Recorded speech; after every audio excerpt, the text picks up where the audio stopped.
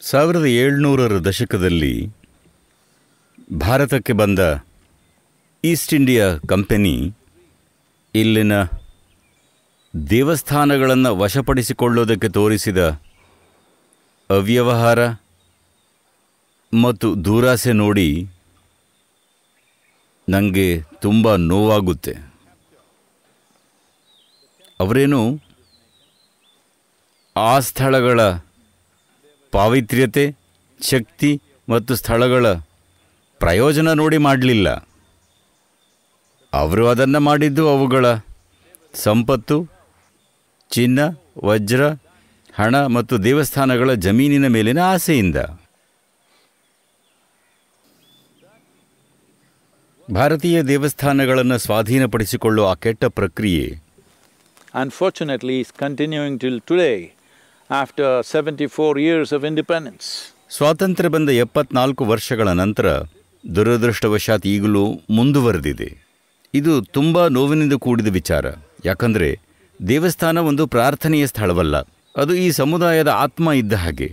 ತಮಿಳುನಾಡಿನಲ್ಲಿ ದೇವಸ್ಥಾನವನ್ನೇ ಮುಖ್ಯ ಕೇಂದ್ರವನ್ನಾಗಿ, ಮುಖ್ಯ ಭಾಗವನ್ನಾಗಿ ಮಾಡಿ ಎಷ್ಟೊಂದು ಊರುಗಳನ್ನು ನಿರ್ಮಿಸಲಾಗಿದೆ. ಊರು ದೇವಸ್ಥಾನದ ಸುತ್ತ ಉಂಟಾಯಿತೆ ವಿನಃ ಊರನ್ನು ಕಟ್ಟಿ ನಂತರ ದೇವಸ್ಥಾನದ ಅವಶ್ಯಕತೆ ಬರಲಿಲ್ಲ. ಇಲ್ಲ, ಮೊದಲು ದೇವಸ್ಥಾನ ಕಟ್ಟಿ ನಂತರ ಊರಾಯಿತು. ಇದಕ್ಕಾಗಿ ಅವುಗಳನ್ನ ದೇವಸ್ಥಾನದ ಪಟ್ಟಣಗಳು ಅಥವಾ ಟೆಂಪಲ್ ಟೌನ್ ಅಂತ ಕರೀತೀವಿ. ಇಂಥ ಭಕ್ತಿ ಮತ್ತು ಆಧ್ಯಾತ್ಮಿಕ ಪ್ರಕ್ರಿಯೆಯಲ್ಲಿ ಮುಳುಗಿರೋ ಈ ರೀತಿಯ ಸಂಸ್ಕೃತಿಯಲ್ಲಿ ದುರದೃಷ್ಟವಶಾತ್ ಇವತ್ತಿಗೂ ದೇವಸ್ಥಾನಗಳು ಗುಲಾಮಗಿರಿಯಲ್ಲಿವೆ.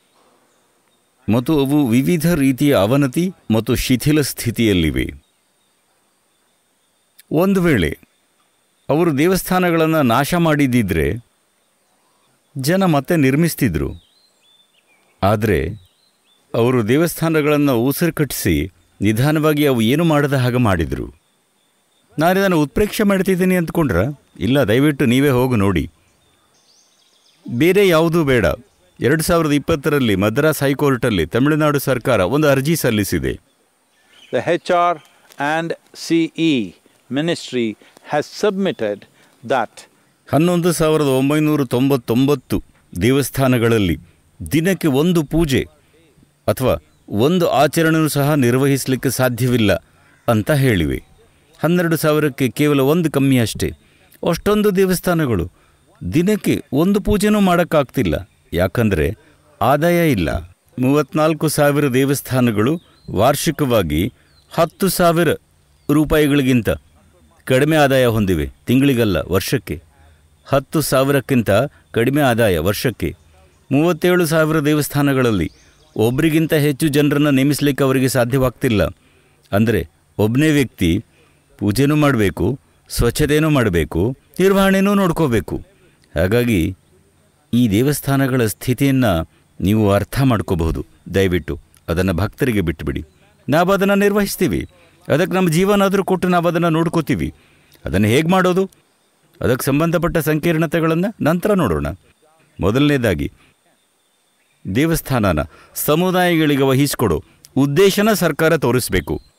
ನನ್ನ ಪ್ರಕಾರ, ಜಾತ್ಯತೀತ ಅಂದ್ರೇನು?